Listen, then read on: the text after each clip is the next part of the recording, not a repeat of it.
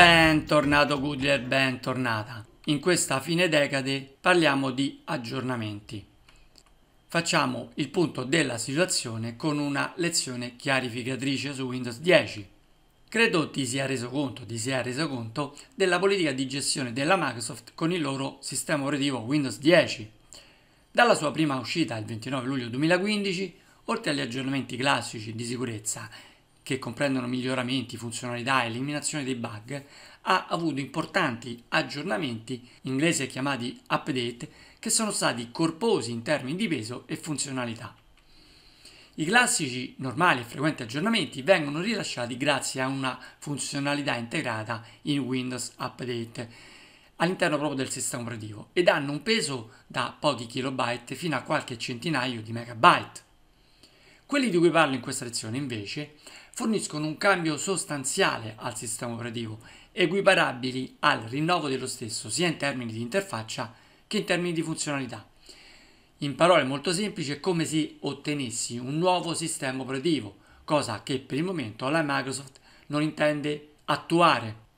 In sequenza abbiamo ottenuto i corposi aggiornamenti. A novembre 2015 abbiamo avuto l'aggiornamento update con versione 15.11 ad agosto 2016 è stata rilasciata la versione Anniversary Update con versione 16.07. Ad aprile 2017 è stata la volta di Creators Update con versione 17.03 e ultimamente ad ottobre abbiamo avuto il rilascio di Fall Creators Update con versione 17.09.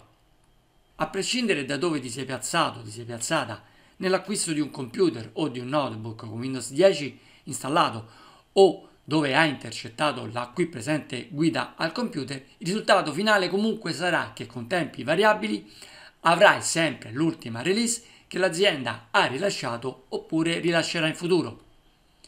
Questo perché ha integrato anche questo tipo di aggiornamenti così corposi all'interno di Windows Update e quindi tutto avviene in maniera automatica come fosse un classico aggiornamento di sicurezza. De facto non dovrai preoccuparti o cervellarti nel procurarti o dover installare questi corposi aggiornamenti, proprio perché avvengono in automatico e in maniera quasi nascosta. La quantità dei dati però che scaricheranno saranno molto diversi, in quanto avremo dell'ordine dei gigabyte. Attenzione quindi a fornire una connessione flat al tuo dispositivo, perché se avessi una connessione a consumo ti scaricherebbe tutta la quantità di dati disponibili magari per il mese e soprattutto potresti andare incontro a costi importanti. Nel caso in cui il tuo dispositivo invece è collegato ad una rete cablata o wireless di tipo flat non avrai questi problemi. In caso contrario dovrai impostare la connessione wifi a consumo nelle impostazioni di Windows 10 proprio per evitare sorprese. Infatti se collegherai il dispositivo ad una connessione wifi avrai nella zona delle impostazioni di Windows Update questa sezione relativa alle funzionalità Wi-Fi e dovrai semplicemente attivare questo cursore per evitare che il tuo dispositivo succhi enormi risorse in termini di traffico dati. Tornando alla descrizione, quando scrivo è in essere la versione Fall Creators Update con build 16299 per scoprire se hai l'ultima versione sarà sufficiente avviare il programma Esegui e digitare nel campo dedicato la parola WinVer, Windows Version, e poi cliccare su OK oppure premere il tasto invio. Avrai una schermata che ti presenterà l'ultima release che è installata. Se ancora non hai subito l'aggiornamento al momento del rilascio è semplicemente perché la Microsoft, per non appesantire i suoi server, spalma su un medio periodo il download alla nuova versione per tutte le macchine che hanno installato Windows 10. In più, se non te ne fossi accorto o te ne fossi accorta, c'è un'impostazione attiva di fabbrica che permette di condividere la tua banda e risorse per consentire il download di computer ad altre persone e lo noterai in questa sezione, una sorta di peer-to-peer che ti permetterà di usufruire delle tue risorse per poter scaricare gli aggiornamenti. Io personalmente ho disattivato questa funzionalità. Se naturalmente sei all'interno di una ristretta rete in termini di dispositivi, potresti anche lasciarla abilitata, ma se il numero di dispositivi è ampio, fai attenzione per non avere brutte sorprese. Considera anche quest'altro piccolo problema. Dato che l'aggiornamento è corposo, la sua installazione richiederà del tempo, di norma molti minuti. Questo comporta che fin tanto che sei al PC non noterai nulla anche nell'utilizzo, ma quando il sistema è pronto per l'installazione ti chiederà il permesso di avviare l'installazione e da quel momento il computer si riavvierà in automatico diverse volte e al termine quasi dell'installazione dovrai dare un minimo di assistenza con qualche clic o selezione necessaria. In queste ultime release la Microsoft anche ci allieta della funzionalità di Cortana che ci aiuta a terminare l'installazione delle ultime release. Quindi una lieta e piacevole sorpresa che ti aiuterà anche se non sei molto esperto o molto esperta. L'assistenza che dovrai dare è perché l'installazione vera e propria è come quella che ti ho descritto in questi anni, quindi qualche clic è necessario.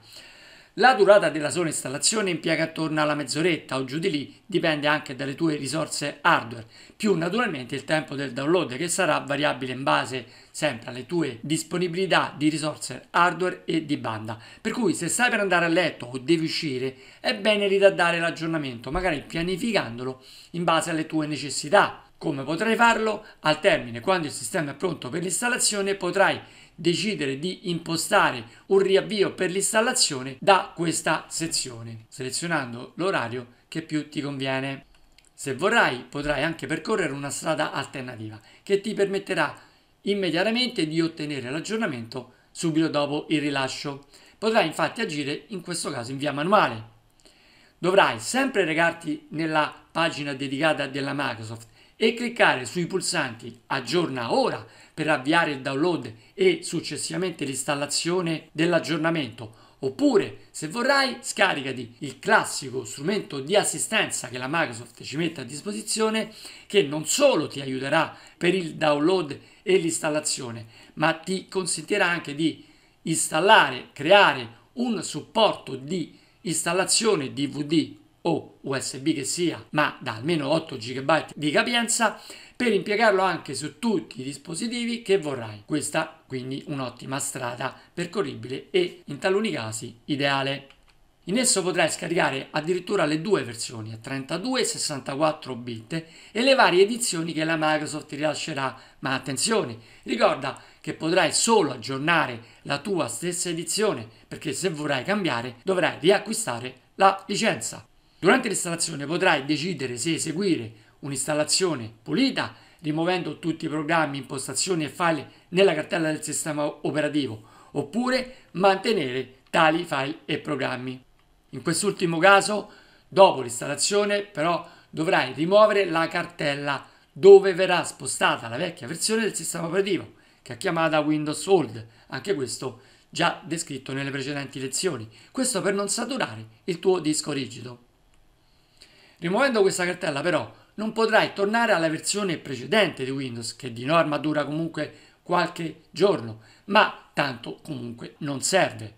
Quindi cancella pure questa cartella. Controlla anche lo stato di attivazione una volta che il dispositivo ha avuto accesso a internet. Qualora non fosse attivo, procedi cliccando sul pulsante dedicato.